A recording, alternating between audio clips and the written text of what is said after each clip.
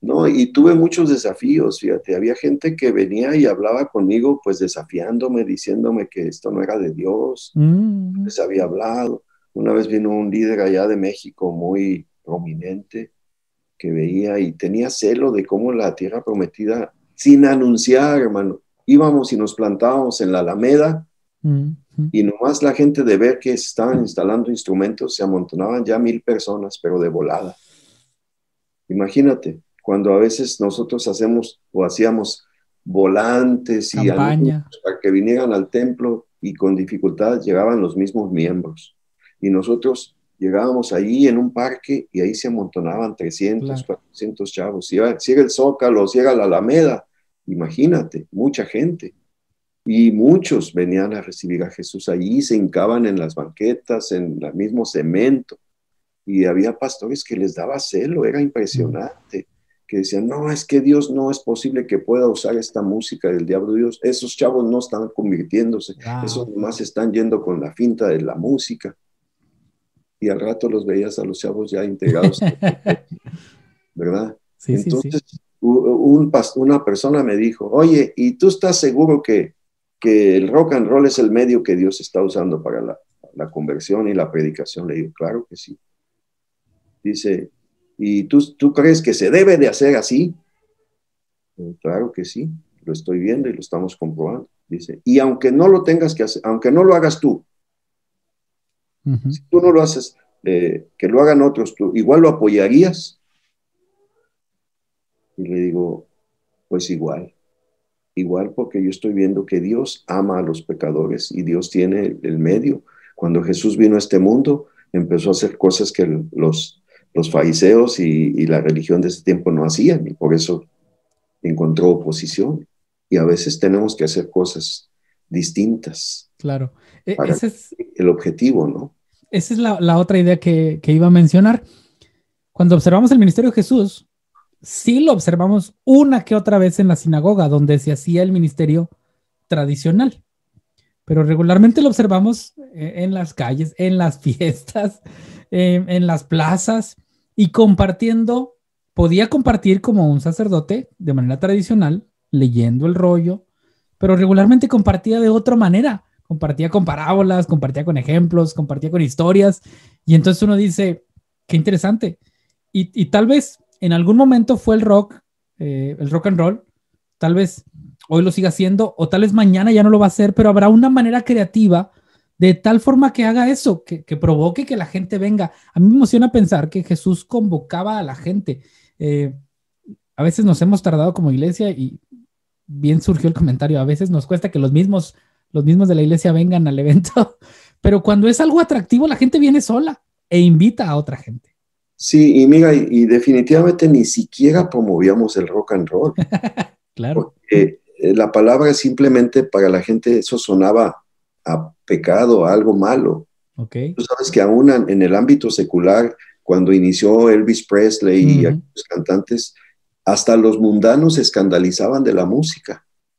Ahora imagínate los cristianos. Entonces nosotros evitábamos a lo, a lo máximo decir es rock and roll, es, no, simplemente pues es música y pues sí traemos instrumentos y tocamos y hacemos un poquito de ruido, pero ni siquiera nos podíamos mover, oye, si yo movía un poquito así, mira, si yo hacía así, oh, ya está bailando ese hermano. Si movía yo el pie, como es clásico, cuando escuchas música, ¿qué haces? Mueves el pie, ¿no? No, no, mírenlo nomás. Entonces, no había cosa que hiciéramos que ya estaba siendo criticada. Pero repito, estamos, estábamos tan convencidos y tan contentos de lo que Dios estaba haciendo. Ujú. Y, y bueno, a mí me llamó la atención que hubo personas que siempre Dios pone allí, visionarios, ¿verdad? Que, que tienen un amplio sentido de lo que Dios puede hacer, que vinieron a darnos. A veces teníamos 50 críticas, pero venía uno que nos hablara positivamente y nos animara, y eso era como un bálsamo Sí. que nos decía, síganle, Dios está haciendo cosas grandes. Y mira, en la iglesia aquella donde fueron a hacer en, en aquel, aquel barrio, ya hay 10 chavos que se están congregando en el templo. Y Ujú. así nos daban testimonios de personas. Lo más tremendo es que, como dice también el, el Señor Jesús, uno no es profeta en su tierra, ¿verdad? Claro. y donde menos, menos respaldo recibí yo fue en mi propia iglesia, en mi propia denominación. La iglesia del Nazareno, lo digo con mucha tristeza, ajenos totalmente a lo que hacíamos. Haz de cuenta que se avergonzaban de que nosotros estuviéramos haciendo lado. Y entonces otras iglesias, otros grupos que empezaron a entenderlo, nos empezaron a utilizar. Y entonces ahí venía otra vez el, la crítica. Mira, ya andan con otros. Total, por una u por otra nos van a criticar. sí, pero lo más bonito, te digo, es que el ministerio se enfocó hacia la gente que no iba al templo. De acuerdo. La gente de afuera y muchos chavos que hoy en día te puedo decir, muchísimos, eh, que ahora son pastores. Algunos ya se retiraron del pastorado porque pues ya son unos buenos años que, que empezamos esto, ¿verdad? No quiero decirlo porque ya todo el mundo lo sabe. y, bueno, eh, Dios ha sido maravilloso, ah, nos ha llevado por lugares que nunca imaginamos. Cuando yo tuve que hacer la decisión para dedicarme a esto, ni idea tenía. Hasta mi propio padre, cuando le dije, papá, fíjate que voy a dejar mi trabajo y me voy a dedicar a servir a Dios. Mi padre mismo se asustó, se espantó y me dice, ¿estás seguro? ¿Cómo le vas a hacer? Porque él sabía que nosotros no percibíamos de esto. Todo lo hacíamos por voluntad.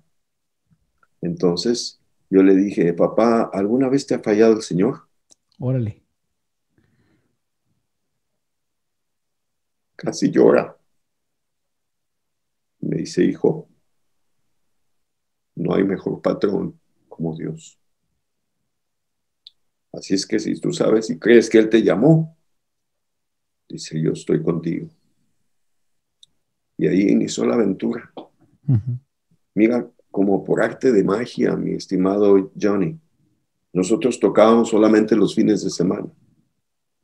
Cuando yo dije sí, había tres evangelistas que estaban atrás de nosotros, hermanos, los necesitamos. Los necesitamos en Chiapas, en Oaxaca, en Guadalajara, en Nuevo León, y así nos ponían. Como por arte de magia se nos llenaron como tres meses de trabajo todos los días. Wow. Todos los días. Y entonces el desafío de decirle a los muchachos, ¿cómo ven? ¿Le entran? Qué fuerte. Porque yo ya estaba convencido. Sí, sí, sí. Y entonces, este, dos de ellos me dijeron, ¿sabes qué? Mis estudios son primero.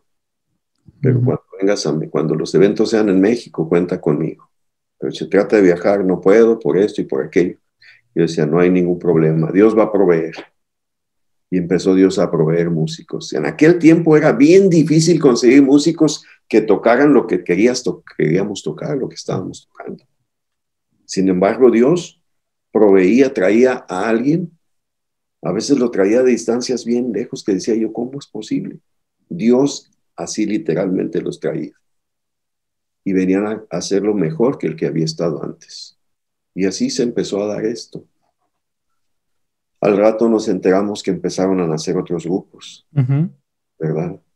Empezamos a recibir testimonios porque, ah, bueno, me brinqué un tramo, ¿no? Cuando Fíjate, el único, el único de la denominación que nos apoyó, y cuando te digo de hombres visionarios, de gente visionaria, eh, tú conociste al doctor H. Teresa. Nadie se imaginaría que una persona como él hubiera estado de acuerdo con lo que estábamos haciendo. Y una vez me llama y me pide una entrevista y me dice, hermano, yo sé que Dios está usando lo que ustedes están haciendo y yo quiero apoyarlos. Yo no lo creí.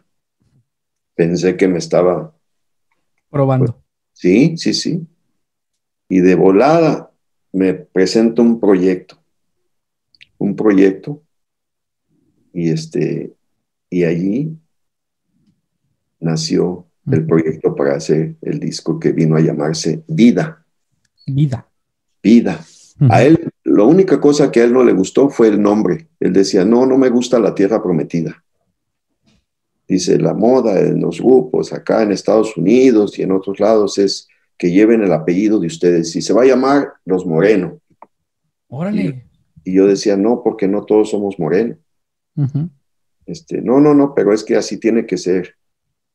Y, yo decía, no, hermano, no puede ser, porque la gente ya los ha empezado a conocer como la tierra prometida. Y, no, no, no, dice, pero esto se ve en grande. Total, nos emocionamos porque te imaginas un proyecto que nos dice, los vamos a llevar a grabar a Estados Unidos, estamos en la Ciudad de México, los vamos a llevar a Hollywood, los vamos a llevar a hacer una buena grabación con una buena producción y bla, bla, bla.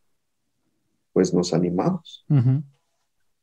Y ahí nació ese proyecto. Y el hermano se convirtió en uno de los promotores en ese tiempo, los más fuertes de, la Tierra Prometida.